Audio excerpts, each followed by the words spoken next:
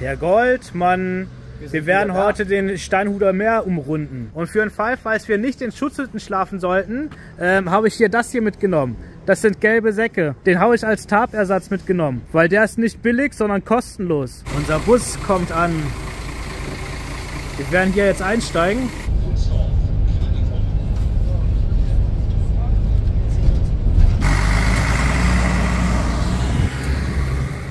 So, wir sind angekommen. Du gehst jetzt zu Lidl und holst dir was. Ich habe schon eingekauft. Und dann umrunden wir den äh, Steinhuder Meer. Das ist ungefähr mindestens 32 Kilometer weit, Ja, Mann. die Umrundung. Prüfen, wie viel Moor dort ist, der uns belästigt, der uns die Schuhe nass macht und so und dreckig.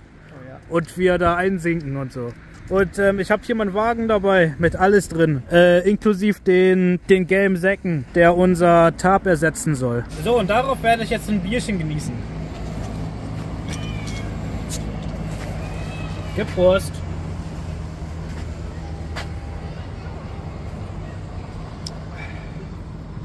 Und jetzt werde ich ein paar Bierpausen nachholen gehen. Ich grüße dich, Florian D. Ich grüße dich, Manuel Urban. Ich grüße dich, Tanni. Und ich grüße dich, Ivana B. Ich werde auf dich jetzt drei Stück machen. Bierpower 1, Bierpower 2, Bierpower 3. Ich bedanke mich für euren Support und wir gelaufen jetzt äh, hier da vorne zu diesem Stein, äh, Steinhuder Meer oder wie das heißt. Den werden wir umkreisen. Das wird richtig geil sein. Mit Moor und so, glaube ich. Also hat zumindest der Herr Goldmann angedeutet, dass da ganz viel Moor drin ist. Ich glaube, das ist alles Moor. Die Richtung ist Moor, dann nix und dann ist da drüben wieder Moor. Kennt ihr noch diese Überflutungstage? Hier vorne ist dieser ganze Restwasser, das hier alles überflutet hat. Nächste Runde mit Boot. Das hätten wir echt machen müssen, bei den ganzen Überflutungstagen mit ähm, so einem Billigschlauchboot unterwegs zu sein. Ja, Mann. Ja, genau. Damit rumzupaddeln, das war richtig geil. Aber da, wo das noch schön heftig war, an den Tagen und nicht so wie die Slasche wie das hier. Es muss die Hirnhaut überfordert werden. Die da hinten haben Geräusche gemacht. Und weil das hier das Steinhuder Meer ist und langsam dunkle kommt, ich weiß gar nicht, ob man das jetzt in der Kamera hier sieht, aber ähm, es wird langsam dunkler. Und je dunkler es wird, desto beschissener werden die Aufnahmen. Und ähm, wir haben uns überlegt, weil hier vorne ist eine Vollfettschutzhütte. Genau, dass wir hier in dieser Schutzhütte heute die erste Nacht verbringen. Also nicht unter den gelben Säcken, sondern heute unter dieser Schutzhütte. Das ist voll cool, oder wie das heißt? ist richtig geil. Ich liebe deinen Pickel, der ist voll geil. Der muss fetter werden. Der wird, Der muss der noch wird viel größer. fetter werden. Der wird nie wieder weggehen. Der muss erstmal erwachsen werden. Ich züchte ihn. Frisch ist es, Alter. Ja, das ist, Auf das wird Fall. immer kühler und kühler. Das ist voll scheiße. Februar ist voll scheiße. So, das hier, das ist unser Abendbrot. Mm, Nudelbrötchen. Maultaschenbrötchen.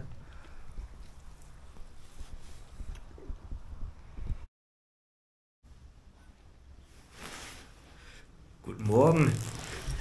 Mein Gehirn muss erstmal wach werden. Ich habe hier gepennt und Herr Goldwald hat genau hier gepennt. So, und jetzt wird Koffein hergestellt.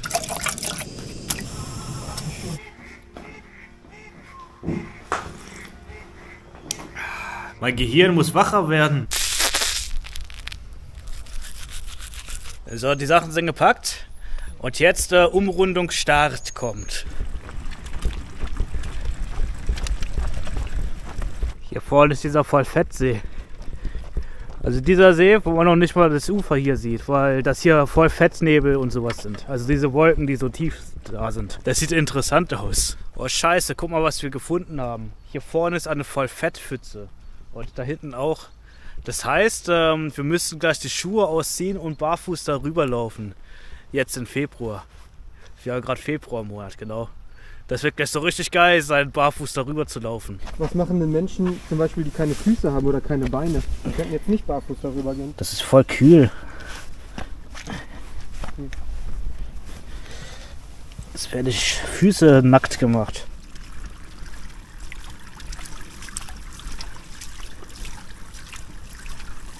Das ist voll das kalte Wasser. Dieser ganze Haus hier vorne ist total überflutet. Das steht unter Wasser. Und hier vorne ist schon wieder so eine voll Fettpfütze, wo man ähm, barfuß rüberlaufen muss.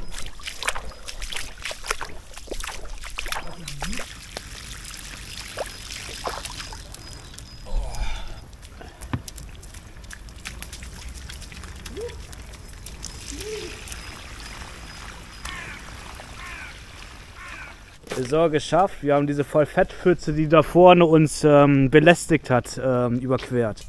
Jetzt können die nackten Füße wieder angezogen werden. Und ähm, wir sind sehr gespannt drauf, ob wir später da hinten noch mehr so eine Vollfettpfützen äh, treffen, die wir überqueren müssen. Wir sind Gewässerbrüder. Wasser ist voll geil. Kennt ihr diese ganzen Überschwemmungen von besonders da, wo Zelle ist? So gegen Weihnachten? Genau, so sieht das hier auch aus. Nur, dass es in Zelle, Zelle noch stärker war. Hier vorne ist schon wieder eine Vollfettpfütze. Jetzt müssen wir schon wieder unsere Füße nackt machen und hier rüberlaufen. Ich habe eine Badehose äh, zufällig dabei. Keine Ahnung wieso. Ah, hi. Nein. Ach, nein, nicht den Socken nass. Ah, Okay.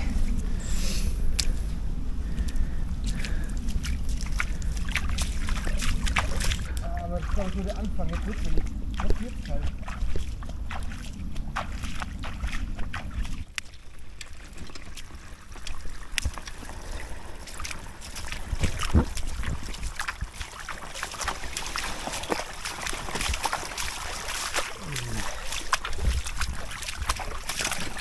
Sportlich kalt.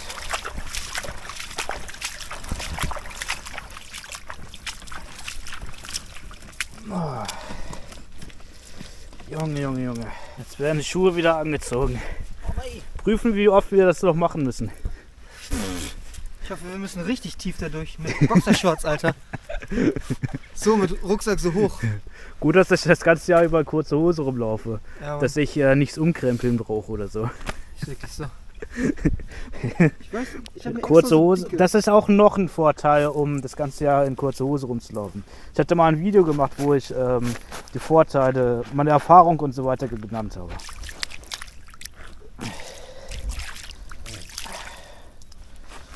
Boah, kalt. Das ist voll der matschige äh, Matschweg. Die ganzen Wege sind hier alle so richtig matschig, also fast alle. Also außer die asphaltierten Wege. Aber die hier sind, die sind auf jeden Fall richtig matschig. Dieser Weg war nur deswegen so matschig, weil der hier äh, Krötenweg heißt. Und äh, Kröten, ich glaube, die mögen Matsch. Aber ich weiß es zwar nicht, aber ich glaube schon. Also Nässe und so. Die sind richtig geil, die Viecher. Kröten sind richtig geil. Wir müssen uns alle ein Beispiel an Kröten nehmen. Die sind voll nass oder schleimig. Oder ich weiß gar nicht, ob die schleimig sind, aber auf jeden Fall sehen die so aus. Wir haben gerade voll das beschissene Scheißwetter. Es nieselt die ganze Zeit und das macht uns nass. Das macht uns so richtig feucht. Und da hinten ist diese ganze Überflutung und so weiter. Und ähm, da drüben ist eine Ortschaft. Und wir haben uns überlegt, durch diese Ortschaft durchzulaufen und dann zu noch einer anderen Ortschaft zu laufen. Und dann mit dem Bus zurück nach Wunsdorf zu fahren. Und dann mit, ähm, mit öffentlichen Verkehrsmitteln zu einer anderen Ortschaft, um dort jemanden zu besuchen. Weil wir sind überhaupt gar nicht outdoor-affin, überhaupt nicht. Das Wetter ist zu scheiße, Mir wir ist müssen kalt. Ich abbrechen. muss pipi. Ich will nach Hause. Das, wir müssen abbrechen, das ist voll nee, scheiße. Das ist richtig beschissenes Ah. Wetter und äh, das, das ganze nass und so weiter. Autsch. Ich glaube, ich habe auch klein bisschen Kopfschmerzen. Ah. Oh, mein Fingernagel ist abgerissen. Kann nicht mehr. Nee, Abenteuer ist nichts für mich. Das ist richtig beschissenes Scheißwetter. Wir sind viel zu outdoor-unaffin dafür, um das äh, durchzuziehen. Ja. So, wir sind in dieser Ort. Mann, diese scheiß Autos. So, wir sind. Ähm, die machen hier voll die Geräusche, diese Autos. Wir sind hier in dieser Ortschaft angekommen. Und hier vorne ist eine Bushaltestelle. Und wir haben uns überlegt, hier eine Stunde zu warten, anstatt zur nächsten Ortschaft hinzulaufen. Weil wir sind äh, zu wenig outdoor-affin. Und dieses Wetter, das stört uns die ganze Zeit. Der belästigt so richtig. Ich fahr lieber mit dem Bus, Alter. Das ist ein richtig beschissenes Wetter hier. Guck mal, wie grau hier das da oben ist, ey. Das ist voll ekelhaft. Deswegen brechen wir das jetzt ab und fahren mit dem Bus zurück. Und guck, Alter, die Schuhe, wie dreckig. Ja, Oh nee, geht nicht. das geht überhaupt nicht klar. Abbruch. Das ist Abbruch. richtig widerlich. Abbruch. Ich meine, ich würde ja, ich würde das ja alles machen. Aber die Sonne scheint nicht. Weißt du, ich habe nichts dabei, gar nichts. Oh, äh, guck mal, guck mal, wie viel wir geschafft haben von der Steinhuder Meerumrundung. Alter, das war richtig heftig gewesen. Fuck, ey. Alter, ich kann nicht mehr. Wir haben es aber fast geschafft. War Das war, knapp. das war wirklich viel gewesen, was wir gesch geschafft haben. Von war- der Umrundung. Waren bestimmt fünf Kilometer. Ja. Bestimmt fünf, Alter. 4,99 Kilometer. Oh, das. kann keiner was sagen. Ja, ja, genau. Das war eine Glanzleistung. Das war richtig heftig gewesen. Ja, ich denke, das ist Rekord. Ja. Ja. Das schafft kaum jemand. Vielleicht kommen wir im Schnitzelhaus, Alter, an die Ehrentafel. So, weil wir ein bisschen äh, Zeit haben, bis der nächste Bus kommt, ähm, haben wir uns hier vorne einen Dönerladen aufgesucht. Den werden wir jetzt aufessen. Ich bin auch echt fertig nach dieser Anstrengung, ne? Ich bin es nicht gewohnt, draußen zu sein. Ich habe das Gefühl, ich könnte eventuell sogar eine kleine Blase bekommen an Füßen. Ah, fünf Kilometer laufen ist, ist nicht ohne. Die Leute werden lachen, Alter. Ich glaube, ich werde krank.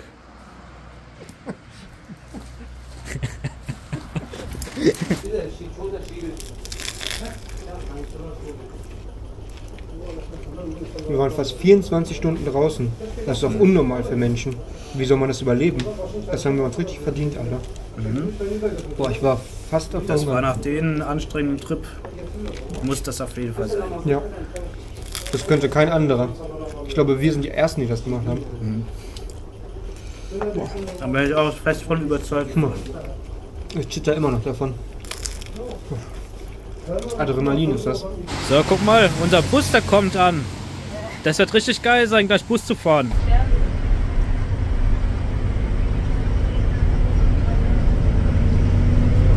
So, wir sind gerade Bus gefahren. Gleich kommt unser Zug. Wir werden da gleich einsteigen.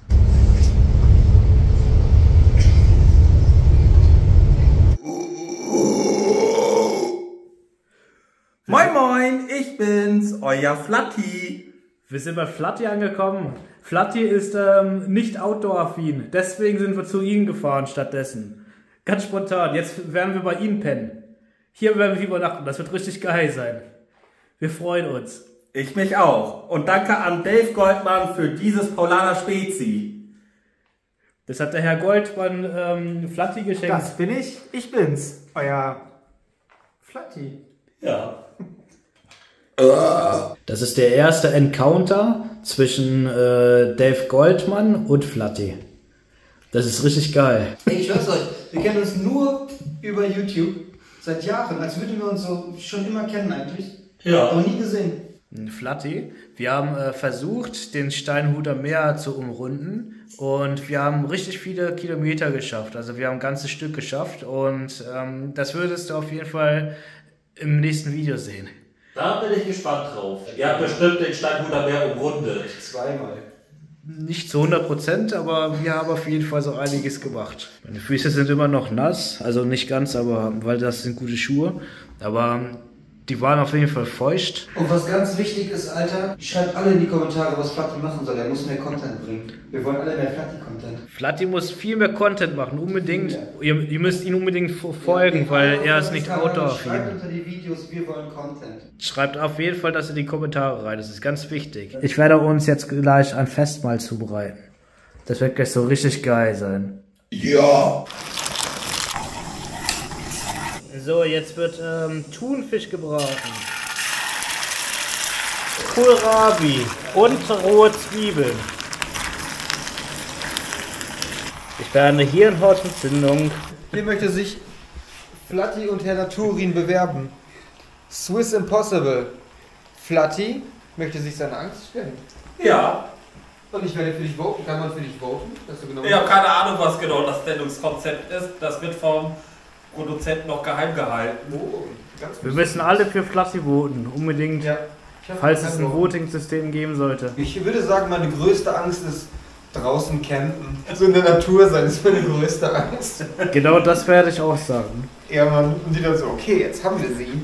Wir stecken sie in die Natur. Smart muss man nur sein, nur clever muss es sein. Ja, wir sind richtig outdoor-unaffin. So, das Essen ist fertig. Das sieht richtig geil scheiße aus. Richtig Luxus heute. Ich wünsche euch einen sehr guten Appetit. Ich hoffe, du hast genug Klopapier hier. Geh schon mal. Habe ich sogar. Und den Schiss. Genug Klopapier. Gute. Vielen Dank fürs Kochen, Das hört Alter. sich sehr gut an. Vielen Dank fürs Kochen. Das schmeckt scheiße. Aber sowas von. Mir platzt die Nase weg, Alter. Der, der muss unbedingt größer werden, da muss ein zweiter. rein. Ich sehe den die ganze Zeit auch aus dem Augenwinkel. Das ist, das ist nicht gesund. Das ist, das ist sehr wohl gesund. Da muss noch mehr davon kommen. Der Der muss größer werden, dringstens. Du musst ihn dringstens zum Wachsen bringen. Eigentlich müssen wir alle drauf rumdrücken mit dreckigen Fingern. Das müssen wir alle machen. Ja, ich fange schon mal an. Der ist richtig geil fett, der muss fetter werden. Da müssen zwei draus entstehen, unbedingt. Das glüht auch richtig. Das Junge. ist ganz, ganz wichtig. Wenn man so die Hand hier hinhält, man spürt richtig, wie es glüht. Fällt mir ab, ich schwör's dir. Das sieht so glänzend aus. Ja, das war's mit mir, Alter. Ich bin auch schon ganz fieberig. Der muss größer werden, Oh, unbedingt. Junge, Alter. Das Ding ist mein Ende. Ich trage mein Grab auf meiner Nase. Äh, guten Morgen. Äh, wir haben bei Flatti gepennt. Hi. Das war richtig geil gewesen, hier zu pennen. Der Koffein ist fertig. Es wird gleich so richtig geil sein, Kaffee zu trinken. Ja. Ist noch ein bisschen heiß. Aber Kaffee bei Flatti zu trinken ist auch richtig geil.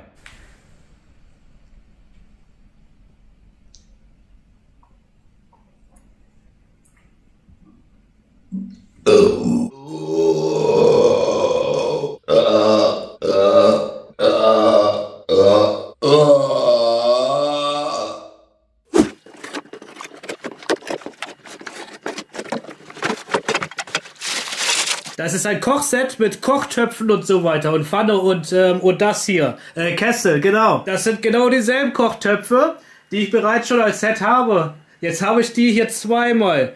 Aber mit dem einen Unterschied.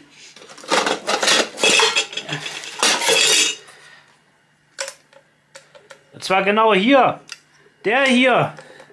Der lässt sich verriegeln. Weil wisst ihr, diese, diese Pfanne hier vorne, ich habe die ältere Version drin, wo hier keine Verriegelung drin ist. Und das Ding ist jedes Mal umgeknickt. Ich zeige euch mal meine alte Pfanne. Hier, das ist die ältere Version. Hier gibt es keine Verriegelungsdings. Obwohl, das sieht eigentlich gleich aus. Aber genau, der hier, der, der lässt sich von Anfang an überhaupt nicht verriegeln. Und der hier, der lässt sich verriegeln. Das ist richtig gut. Genau. Deswegen, wer der hier, der hat ganz viele Ärger gemacht, weil der hat ganz viel Essen von mir äh, runterfallen lassen. Das war voll scheiße. Der ist immer so umgeknickt. Also das war richtig scheiße. Ich werde ab sofort folgendes machen. Und zwar, ich werde jetzt diese Pfanne, die sich hier äh, verriegeln lässt, die werde ich zu meinem Kochset hier äh, hintun.